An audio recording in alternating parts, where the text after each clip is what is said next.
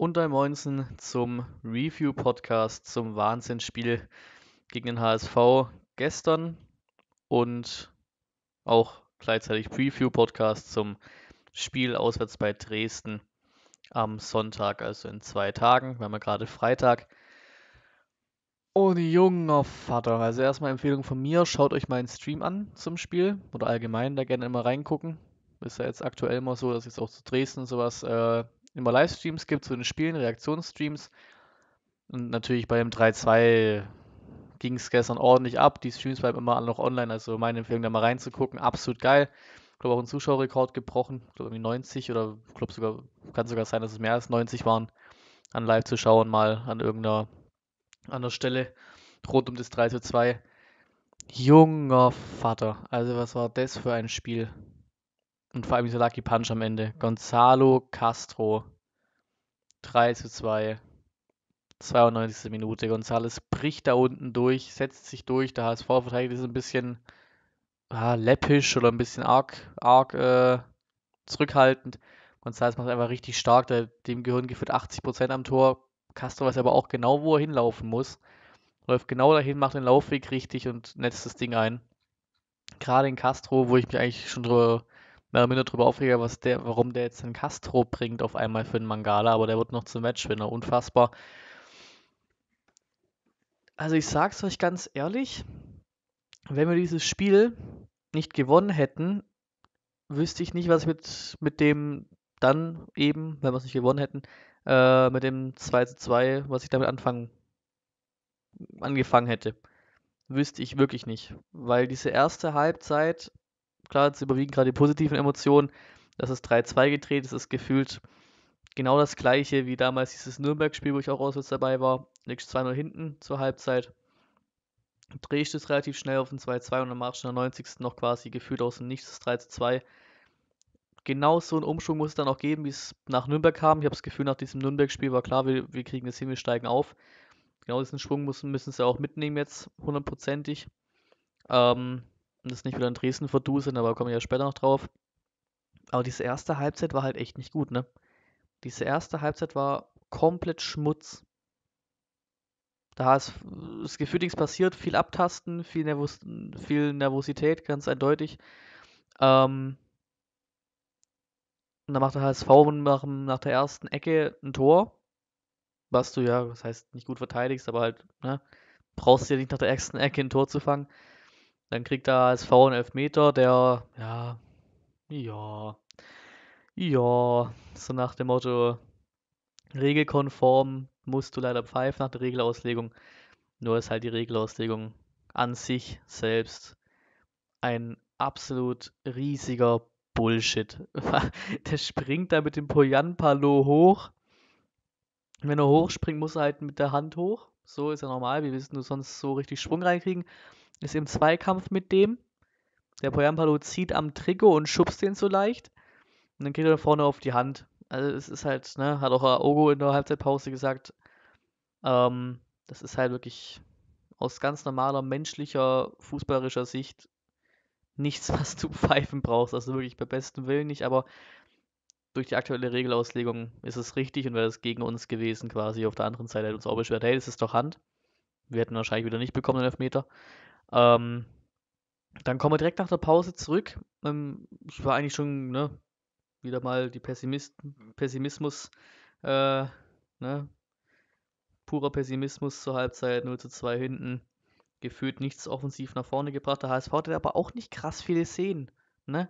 Das waren die erste Halbzeit lässt sich wirklich gefühlt auf die ersten, auf diese zwei Tore zusammenfassen, weil auf beiden Seiten viel Abtasten war, beim VfB immer noch, noch mal ein bisschen weniger Druck nach vorne keine Ahnung, überhaupt nicht im Spiel gewesen. Es war halt einschläfernd, das war halt einfach nicht gut. Und dann zweite Halbzeit kommst du natürlich direkt, glücklicherweise, auch bei uns mit der ersten Ecke nach der Halbzeit direkt äh, Wataru Endo, der auch einer der besten war äh, gestern, ähm, kommst du zurück zum Glück. Das war ein wichtiger Zeitpunkt, dann kriegst du auch. Wir waren in der zweiten Hälfte in dieser Phase und auch noch vor dem 2-2 deutlich besser als in der ersten Halbzeit, noch besser als der HSV. Wir kamen einfach rein mit Schwung, offensiv, dann hatten wir für den ersten 10 Minuten mehr Chancen als in der ganzen ersten Halbzeit zusammen. Und dann kriegen wir auch einen Elfmeter, wo man sagen muss, ja,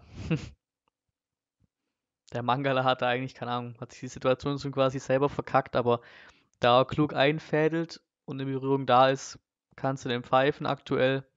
Ähm, und auch wenn man sieht, was der HSV auf den Elfmeter bekommen hat und was wir schon so für Situationen gegen uns hatten, war das, wenn man es jetzt nur auf das Spiel begrenzt, ähm, ne, Ausgleich und Gerechtigkeit quasi. Einfach zwei mehr oder minder fragwürdige und eigentlich vom, von einem von einem Fußballherz aus Elfmeter, die man eigentlich nicht geben sollte, beide, aber wenn er den einen gibt, muss er den anderen auch geben. Von dem her alles ausgeglichen, darf sich keiner beschweren auf keiner Fanseite. Ähm, González macht den eiskalt. Danach habe ich aber das Gefühl gehabt, weil da war ganz klar zu sehen, der HSV war sich zu sicher. Der HSV war sich seiner Sache zu sicher, da kam gefühlt nichts mehr. Und dann nach dem 2-2 haben sie wieder gemerkt, oh, warte mal, wenn wir hier gewinnen, wäre es ja schon ein Stückchen geiler. Wir können ja auch eigentlich ganz gut kicken. Das Gefühl eigentlich, also ich hatte, das natürlich ist auch vom Gefühl her, ich habe auch schon äh, das im Stream gesagt, dass ich vom Gefühl her halt auf, aus VfB-Feeling her mehr das Gefühl hatte, der HSV macht das 3-2, als dass wir das 3-2 noch machen. Aber jetzt habe ich hier auch einen Stream gesehen, weiß nicht, wie, wie die heißen, aber auch quasi ein Reaktionsstream, Livestream-mäßig, äh, halt mit, mit, mit HSV-Fans, die, die haben gesagt, ja, äh, ich habe am Ende mehr Schiss gehabt, dass, äh, dass, dass, dass der VfB das 3-2 macht, als dass wir das 3-2 noch schießen. Also ich glaube wirklich viel an der Fanbrille und an der, einem typischen Pessimismus, den man mittlerweile bei dem Verein hat, was ja beim HSV auch nicht anders ist. Ähm, und dann habe ich, ich wirklich das Gefühl, der HSV ist wieder stärker in der Partie und hat einfach, keine Ahnung, wieder ein bisschen, wieder ein bisschen griffiger geworden am Ende. Groß, große Chancen gab es auch nicht. Es gab allgemein in diesem Spiel wirklich bis auf die Tore gefühlt keine Riesenchancen. Also, ja, das Ergebnis macht das Spiel vom Gefühl her, lässt es ein bisschen peppiger und krasser aussehen, als es war. Also, es war nonstop spannend, weil es ja die ganze Zeit so eng war. Äh, vor allem halt nach dem, nach dem 2-2 dann. Aber da ist auch nicht mehr groß was passiert. Da waren, glaub, also ich, außer ich bin ja gerade komplett lost und vergesse irgendwas, aber da waren, glaube ich, keine Riesenchance mehr dabei. Und dann doch noch die letzte Aktion. González über links, nimmt sich ein Herz, zieht durch. Argentinischer Nationalspieler, sowas will ich von dem sehen. Zieht durch, behält den Ball, nicht gut verteidigt, bringt den Ball rein. Castro läuft genau dahin, wo er hin muss. Die, haut das Ding rein, dann ging es ab wie Schmitz Katze. Also im Stream Eskalation pur. Ähm, richtig geiler Scheiß, wie gesagt, schaue ich das gerne an. Oder jetzt ist auch der Part, den ich gerade anspreche zum 3-2 auch als äh, Stream-Ankündigung fürs äh, Dresden-Spiel nochmal quasi drin. Ähm, also kann man euch das da angucken, wenn ihr nicht, nicht äh, in dem gesamten zweieinhalb Stunden Stream vorspulen wollt. Und da, Junge, da ging es ja richtig ab. Also Castro emotional, äh, emotional und alles richtig krank. Das ist auch gerade ein Castro macht. Das ist so für mich einer auf dem Level von einem First oder sowas, von, vom Feeling her, dass ich, keine Ahnung, die eigentlich auf dem Platz nicht unbedingt sehen will. Aber da war halt genau er da, mit Erfahrung weiß er, wo er hingeht. Läuft da perfekt rein und Alter, wäre dieses Tor oder das Spiel so abgelaufen im Stadion, ja, leckt mich am Arsch. Wäre dieses 3-2 in der 92. in so einem wichtigen Spiel in einer ausverkauften Hütte 60.000 voll gefallen, junger Vater wäre das krank gewesen. Das wäre anders geil geworden. War auch so schon echt geil. Dieser Lucky Punch einfach mal für uns mal wieder. Das ist keine Ahnung ich hatte es nicht für möglich gehalten, dass wir da irgendwas nach diesem 0-2 noch holen. Aber es ist genau das, was ich im, im Preview-Podcast angesprochen hatte. Es ist genau das, was ich angesprochen hatte. Wenn wir in irgendwelchen Spielen mal irgendwie statistisch, Fußball statistisch und Fußballtypisch oder VfB-typisch irgendwelche krassen Punkte holen oder uns irgendwie auf einmal dann doch noch äh, retten und Spiele drehen, sind es eher solche Spiele. Der HSV ist halt genauso adept wie wir. ähm, und in so einem Spiel gewinnst du den Scheiß dann noch. Ne? Wenn ich jetzt auf Dresden gucke, wo, wo ich gleich zukommen werde, das wäre genau so ein Spiel, wo wir wieder dumm verlieren. Aber gegen HSV hatte wirklich, ne, das ist. Wenn jetzt Kiel bei uns auswärts 0 zu 2 in Führung geht zur Halbzeit und wir Kacke spielen, dann passiert nichts mehr. Wenn jetzt Wiesbaden kommt oder wer auch immer, Fürth kommt zu uns, äh, und führt 2-0 zur Halbzeit, dann passiert nichts mehr. Aber gerade in solchen Spielen passieren irgendwelche fußballverrückten Dinge. Und diesmal tatsächlich für uns absolut geiler Scheiß. Absolut geiler Scheiß. Krank. Aufstellung war, ja, in Ordnung. Die Davi war ja raus, deswegen halt ein Förster. Ähm, weiterhin drin. al vorne, ja, hat nicht viel Stiche gesetzt. Wamagetuka, ja, ist auch dann ausgewechselt worden. Dann kam nämlich Kalajdzic rein für Wamagetuka. Auch mal ein neuer, oder was heißt ein neuer? Haben wir ja schon lange unter Vertrag, aber äh, tatsächlich mal Debüt für uns im Pflichtspiel. Hat seinen Job eigentlich auch echt ganz gut gemacht. Klar, der hat jetzt nur knapp, also 14, 15 Minuten mitgespielt, wenn man die Verlänger äh, Nachspielzeit mit einrechnet, aber hat schon ein paar ganz gute Ansätze gehabt. Jetzt rein von, von Ideen her, hat jetzt nichts groß gefruchtet, aber so spielerische Ideen, die er hatte, wo halt da die anderen auch mitdenken müssen. Und sonst, ja, wie auch wenn man HSV guckt, wo der HSV jetzt halt ein bisschen arg harte Wertungen bekommen vom Kicker. Ähm, Finde ich teilweise, aber es war eigentlich ein ausgeglichenes Spiel. Es war eigentlich ein absolutes Unschiedenspiel. Und deswegen umso geiler und umso glücklicher, dass wir noch den Lucky Punch gesetzt haben, weil es nötig war. Jetzt sind wir wieder auf Platz 2 und es war so hardcore nötig, ähm, mal dieses Ding mitzunehmen. Auch nach der Vertragsverlängerung und nach dieser ersten Halbzeit dachte ich, yo, war ja nettes Zeichen, aber es geht volle Kanne nach hinten los, weil die erste Halbzeit war nichts. So, also krank, einfach krank. So diese geilen Szenen, jetzt überall auf Twitter und sowas, wo unser, wo unser absoluter Ehrenpräsident da oben steht und äh, den Schal hinhält und sowas und dann da äh, Massimo, der komplett nicht im Kader war, ähm, über, über Snapchat, glaube ich, haben es Leute gefunden, wie der auch komplett austickt nach dem 3-2 und sowas. Äh, unter irgendwelchen Posts auch Reaktionen von, von Baumgartel, Manet, Pavard und so Leuten. Also richtig geiler Scheiß. Ähm, ging schon ordentlich ab. War, auf, war auch unfassbar wichtig. Wir haben jetzt zwei Punkte vom HSV. Auch wenn man, ne, wenn man Torverhältnis rechnet, würden wir punktgleich sein. Da ist der HSV vor uns, also gefühlt ein Punkt, wenn ihr mir folgen könnt. Ähm, weil der HSV immer noch sieben Tore besser ist quasi. Bielefeld ist jetzt äh, fünf Punkte vor uns. Den hängt, äh, die haben aber nicht gespielt wegen Dresden. Das heißt, sie haben ein Spiel noch, hängen ein Spiel hinterher. Ähm, HSV 46 Punkte und unter uns schon Heiden äh, unter, unterm HSV jetzt auf 4, Heidenheim mit 45 und Darmstadt mit 42 Punkten. Ja, das ist, ne, das ist jetzt zwar richtig geil und unfassbar wichtig, aber du musst es mitnehmen. Du musst diesen Push mitnehmen. Wenn du jetzt aus dieser Situation nichts machst, jetzt kommen wir so langsam in Richtung Dresden, aus dieser Situation jetzt nichts machst und wieder VfB-typisch dumm bei einem Verein, dann auswärts verlierst, die, glaube seit Montag wieder so mehr oder minder trainieren, die ganze in Quarantäne waren, im Abstiegskampf sind, null Spielrhythmus haben und so noch bisher seit, seit, seitdem quasi nach Corona wieder angepfiffen wurde. Was heißt, das heißt nach Corona, aber nach, nach der Pause wieder angepfiffen wurde, äh, die Saison noch kein Spiel gemacht haben, im Abstiegskampf sind. Ein, das ist eigentlich gefundenes Fressen für jeden Club, der halbwegs kicken kann. Aber genau da müssen wir jetzt aufpassen, weil das ist wieder genau so ein Spiel, was du dann verlierst. Genau das Spiel verlierst du dann wieder. Und da muss ich mir jetzt wieder von mir auch nach, nach der Halbzeitlaune gegen HSV eines Besseren belehren lassen vom VfB. Weil VfB typisch wäre jetzt, sich jetzt wieder zu sicher zu fühlen, sowas sagen, ja geil, wir haben jetzt geführt, Platz 2 und so, ach komm, jetzt fahren wir nach Dresden. Abstiegskampf, letzter Platz, gefühlt nicht trainiert, das ist gefundenes Fressen, das machen wir mal locker mit links. Nee, machen wir nicht. Da war ich das Interview mit dem Bartstuber ganz geil. Wie gesagt, wieder alle Quellen immer unten verlinkt. Auch das Bartstuber-Interview beim auf VfB TV, was sich auch jeder angucken kann ohne Abo. Und ich sage, ja, der Push muss jetzt mitgenommen werden. Ähm, und in Dresden wirst du auch wieder sehen, das ist Abstiegskampf. Die beißen, die kratzen. Du kommst in dieser Liga nicht durch irgendwie Fußballschönheit und sowas ausschließlich durch.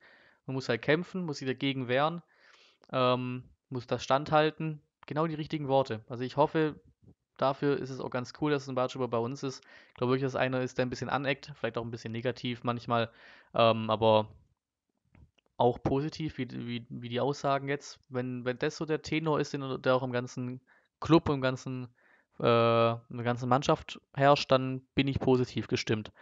Stimmt zum Spiel, die sind die Stelle, die ich hier irgendwo ge, äh, gefunden habe, hatte, steht hier auf der Seite nicht mit drin beim VfB, aber ich fand es so schön am Ende von Matarazzo. Wir sind glücklich über den Sieg. Das Schönste an einem Sieg sind die Emotionen oder an so, an so einem Sieg sind die Emotionen.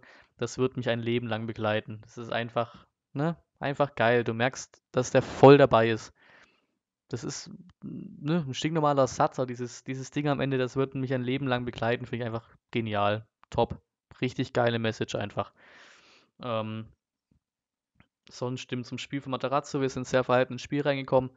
Die Mannschaft hat nach den vergangenen beiden Niederlagen den Druck gespürt. In der Halbzeitpause haben wir eine taktische Umstellung vorgenommen, mit der wir mehr Druck an, auf, den, auf den Ball führenden Gegner ausüben wollten, um mehr Kontrolle im Mittelfeld zu haben und mehr Kontrolle im Mittelfeld haben wollten. Wir hatten nach dem 0 zu 2 nichts mehr zu verlieren und wollten noch einmal alles geben, um das Spiel doch noch zu drehen. Das ist uns zum Glück gelungen. Wir sind glücklich über den Sieg und so weiter und so fort. Könnt ihr euch selber durchlesen, aber es ist ja immer relativ das Gleiche oder mehr oder minder äh, typisches Geschwafel nach dem Spiel. Äh, liest jetzt natürlich nochmal ein Stückchen schöner, wenn du das Spiel auch gewonnen hast. Und dann können wir zum nächsten Spieltag und damit zu Dresden hüpfen. Wir schauen mal, wie es so in Dresden aussah die letzten Male, oder was heißt letzten Male? Also 1995 haben wir irgendwann mal gegen Dresden gespielt zuletzt und dann ging es 2016 erst weiter. Da haben wir dann 5-0 auf die Fresse bekommen in Dresden in der zweiten Saison. Haben 3-3 gespielt zu Hause mit dem Last-Minute-Treffer von Terodde. Das war auch stimmungstechnisch Wahnsinn. Ähm, und dann haben wir ja die Saison zu Hause gegen Dresden 3-1 gewonnen. Silas da, glaube ich, mit seinem ersten äh, Saisontreffer für uns. Also aus der Statistik kann ich wieder gefühlt nichts rauslesen. Also Heimbilanz Dynamo Dresden, keine Ahnung. Rein statistisch sind wir in Dresden jetzt scheinbar nicht so besonders, aber das bringt auch nichts, weil wir einfach insgesamt auch auswärts nicht besonders sind. Also kann ich dir jetzt auch schenken, die Prognose. Wir müssen nur einfach wirklich raffen, worauf es jetzt gegen Dresden wieder ankommen wird. Und diesen Schwung mitnehmen. Wenn ich da jetzt am Sonntag sehe, dass wir überheblich ins Spiel reingehen oder sowas und wir spielen wieder so, wie ich es vom HSV-Spiel schon mehr oder minder predicted habe, dumm 1-0 verlieren oder sowas, wieder Auswärtsbehinderung von uns, dann war dieses Spiel wieder für den Arsch. Und das ist, das wird wieder ein sehr interessantes Ding. Das, das, das HSV-Ding wird, wird, wahrscheinlich nicht mehr getoppt werden von Emotionen her. Ähm, dieser Last-Minute-Treffer einfach zu geil und halt direkt im Duell gegen HSV, das direkte Duell. Aber damit hört es noch lange nicht auf. Wir haben jetzt, glaube ich, noch sechs Spieltage oder sechs Spiele noch. Ähm, und jeder Spieltag aufs Neue wirst du immer gucken müssen. Weil man nicht davon ausgehen kann, dass wir jedes Spiel jetzt gewinnen, sonst wäre es ja safe. Ja, weil man weil wir quasi selbst in der Hand haben mit zwei Punkten Vorsprung auf, als Zweiter. Ähm, könnte ich jetzt auch eigentlich die Saison abrechnen, sind wir durch. Ähm, aber du musst wieder Spieltag für Spieltag gucken. Jedes Mal aufs Neue, weil du weißt genau, wie, also, ne? Zeigt mir, dass ihr jedes Spiel gewinnt, ne? Ähm, zeigt mir, dass ich falsch liege. Sehr gerne, sehr, sehr gerne sogar. Wie jetzt gestern nach der Halbzeitpause. Zeigt mir sehr, sehr gerne, dass ihr was könnt und dass ich falsch liege. Aber wir werden vermutlich nicht locker durch, durchlaufen, jedes Spiel gewinnen. Würde mich zumindest wundern als, v als erfahrener VfB-Fan. Wird sonst Sonntag interessant, der Stream. Und das Spiel natürlich. Ähm, wir spielen in Dresden. Zeitgleich spielt Heidenheim gegen Aue, die ja gerade Vierter sind mit äh, drei Punkten hinter uns. Wir haben da sechs Tore besser, also die können uns, glaube ich, nicht direkt überholen, außer es passiert was ganz Verrücktes. Und Hamburg spielt gegen Wiesbaden, auch zeitgleich mit uns. Hamburg zwei Punkte hinter uns. Das heißt, theoretisch können an diesem Spieltag, wenn was ganz Wildes passiert, können wir auf den vierten abrutschen. Aber es könnten auch zum Beispiel Heidenheim und der HSV ihre, äh, die Plätze tauschen. Drei und vier. Und äh, heute Abend schon spielt noch Darmstadt auf Platz 5 ähm, gegen Kräuter Fürth, heute Abend 18.30 Uhr am Freitag ähm, mit 42 Punkten. Die könnten theoretisch Heidenheim überholen auf dem vierten. Also es ist wirklich es ist Spieltag zu Spieltag. Ich kann jetzt gerne nochmal, ich gehe noch einen weiteren Spieltag nach vorne. Das mal hier live. Kann den 30. Spieltag. So, wie sieht der aus? Da spielen wir nämlich zu Hause gegen Osnabrück. Zeitgleich spielt Heidenheim in Hannover und der HSV zu Hause gegen Holstein Kiel. Also, ne, das ist gefühlt überall ähnlich, die Gegnermäßig.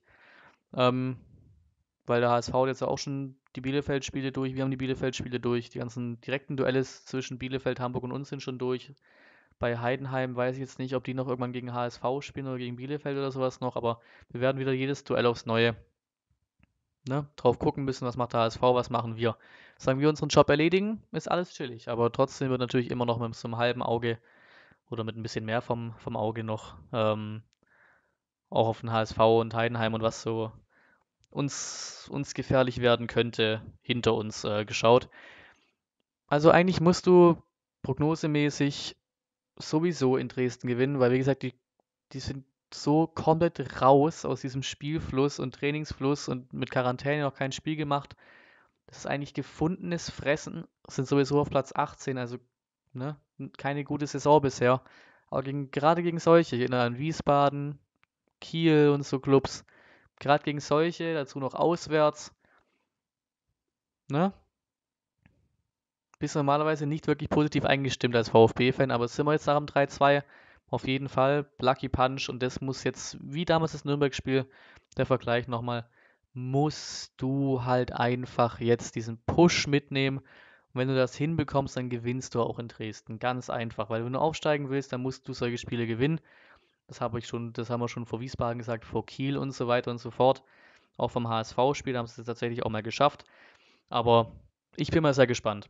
Das Spiel war jetzt extrem wichtig und könnte in Kombination mit dem Dresden-Spiel am Sonntag äh, wegweisend sein für den Rest, der Saison. Wenn wir jetzt nachlegen und dann einfach ganz entspannt bei Dresden, I don't know, 2-0 gewinnen, 1-3 gewinnen, ganz entspannt einen Auswärtssieg mitnehmen und zeigen, yo, wir haben jetzt Selbstbewusstsein, wir haben jetzt den Push, wir sind konzentriert, jetzt steig mal auf, jetzt haben wir uns in Situation zurückgekämpft, äh, jetzt haben wir es erkannt und so weiter, Vertragsverlängerung war ein richtiges Zeichen und so, alle stehen zusammen.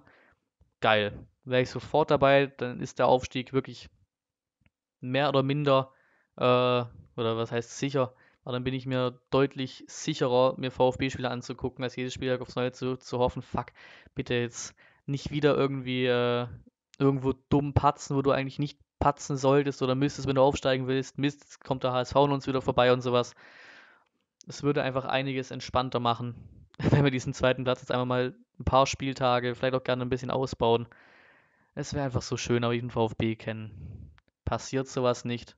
Aber wie gesagt, lehrt mich, lehrt mich eines Besseren, heißt es so, keine Ahnung. Aber, ne? Beweist mir das Gegenteil. Aber aus der aktuellen Lage sagt man pessimistisches VfB-Herz, hm, auswärts, mh, hm, der Gegner mit der Voraussetzung, mh, hm, das klingt doch alles wieder nach einem perfekten Rezept für eine, für, ein, für eine dumme Niederlage. Aber aus dem aktuellen Feeling raus, nach dem HSV-Spiel und dem Pushen alles und einfach auch, auch aus der Zwangsmäßigkeit muss dieses Spiel gewinnen. Fertig aus. Und dann bedanke ich mich fürs Zuhören. Wie immer, Prognosen, andere Dinge, was ihr wollt, äh, in die Kommentare damit. Und dann bedanke ich mich fürs Zuhören. YouTube auch zuschauen, aber da wird es ja auch hauptsächlich ein Hören sein. Und bis zum nächsten Mal.